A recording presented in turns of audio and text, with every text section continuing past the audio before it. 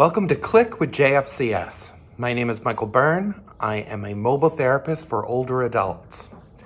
Today, I'm here to share with you about some DBT skills that can lend a hand when we are feeling a little bit extra anxious, when we're feeling like we're going to have a panic attack, or we're actually having a panic attack.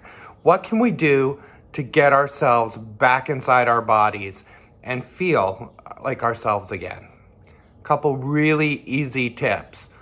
DBT, Dialectical Behavioral Therapy, has a skill called the TIPP skill. They love acronyms. So TIPP, T-I-P-P. T stands for temperature. So get into the freezer, grab a bag of frozen peas, or even better, an ice pack, and put it on the back of your neck. This will send a message to your brain, and your brain then sends a message to the rest of your body to release endorphins. And it just automatically makes you feel better. So it's a way of doing something physical that changes your mental well-being. I stands for intense exercise. So same kind of endorphin release. Do a lot of intense exercise. Get up, do 100 jumping jacks go for a run.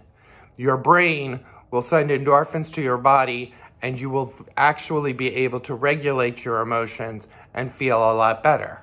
P is paced breathing.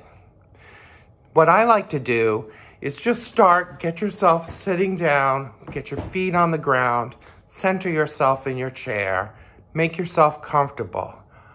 Relax your neck, relax your jaw, and then just breathe normally. After breathing normally for a couple of seconds, breathe in with a count of 10, breathe out with a count of 10. Do that for a couple of minutes. And then breathe in for a count of 10, breathe out for a count of five. So the actual act of getting your getting your mind focused on counting your breaths and then changing the count of those breaths brings you into the present, brings you into this moment, gets you out of that, your brain thinking of the woulda, shoulda, couldas, or what ifs, and gets you back into your body and gets you back into this moment, relaxing you. The second P is paired muscle relaxation. Start from the tip of your toes, tensing up your toes, and then relaxing.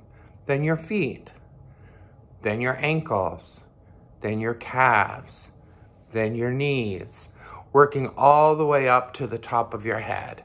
By the time you get to the top of your head, you have once again focused yourself on the present, focused yourself on the here and now, gotten yourself back inside of your body, and your and the anxiety level has dropped.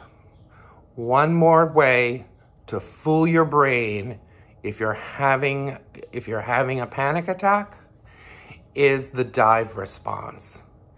Now this is also something a way to fool your brain, whether it's a sink or a big uh, bowl of cold water.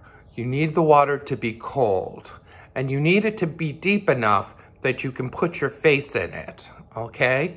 Now I know this sounds a little crazy, but by actually putting your face in cold, holding your, taking a deep breath, holding it, and sticking your face in water, you are fooling your brain into thinking that you have dove into cold water.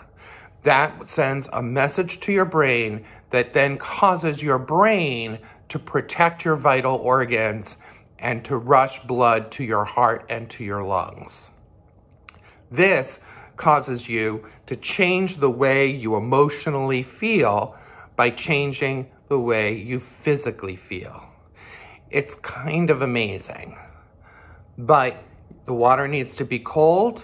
You need to actually hold your breath and stick your face in the water. because your brain is getting the messages from your lungs and from your, the, your nostrils, feeling the cold and feeling the wet, sends those messages to your brain and your brain responds.